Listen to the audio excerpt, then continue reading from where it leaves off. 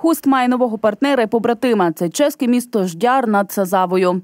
Це місто, яке має десь 25 тисяч населення, воно трошечки менше за місто Хуст з розвинутою соціально-культурною інфраструктурою. Уже була проведена е, бесіда із керівником цієї громади. Вони також хочуть на слідуючий рік нам допомогти е, в певному фінансовому плані. е, Ну, скажімо, зробити якусь одну вулицю в тротуарах, у лавочках з освітленням. І разом половина профінансує чеська сторона, і половина профінансує міська рада.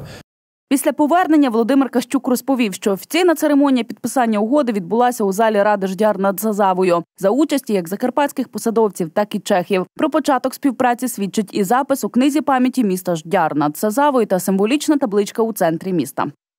Чехи, розуміючи ті проблеми, які ми маємо на сьогоднішній день, вони ну підставляють нам такий дружній, е, дають нам дружний посяг у всіх наших починаннях, і є нормальна підтримка. Нагадаємо, досі Хуст мав шість міст побратимів. А це угорський Нірбатор, словацькі Ліпани та Сніна, польські Лєско, Грубешів та Хелм.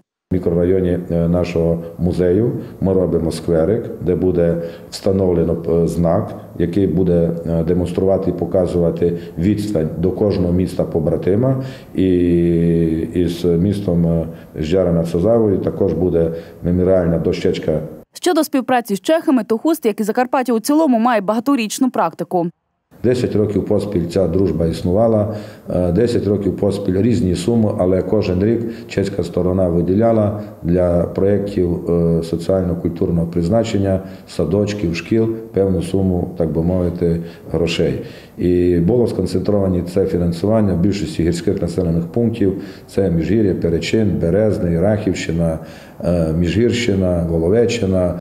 Серед проєктів, які спільно з Височиною реалізували у Хусті, капітальний ремонт правого крила першої школи. Тут розміщено додатково три класи початкової ланки. Загальна вартість проекту реконструкції сягає більше 700 тисяч гривень. Близько 500 тисяч корун профінансувала чеська сторона.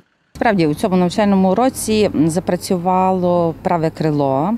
Ми дуже довго на нього чекали, бо е, справді е, у зв'язку із збільшуваністю е, народжуваності дітей у нашому мікрорайоні збільшилась кількість учнів першого класу. І відповідно замало було приміщень. В основному навчальному корпусі таким чином вивільнилися ще два приміщення.